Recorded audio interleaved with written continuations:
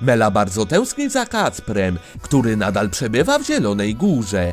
Dziewczyna chciałaby cofnąć czas i nie powiedzieć mu o miłości do Przemka, jednak nie jest w stanie tego zrobić. Mela postanawia zająć czymś głowę.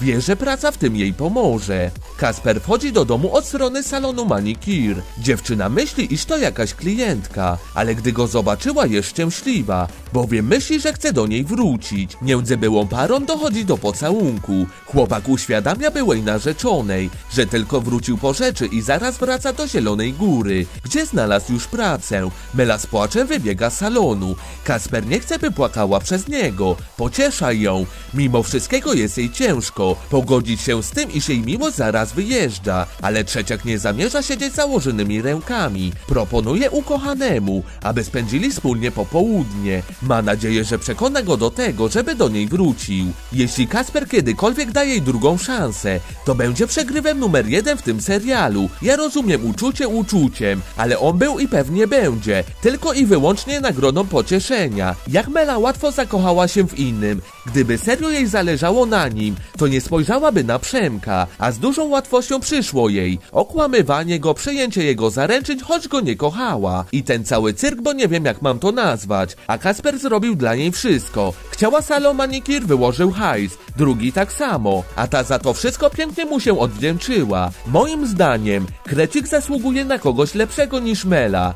Jeśli dotrwałeś do tego momentu, napisz nagroda, a przypnę ci serduszko i daj koniecznie znać w komentarzu, czy z czasem Kasper wybaczy Melanii?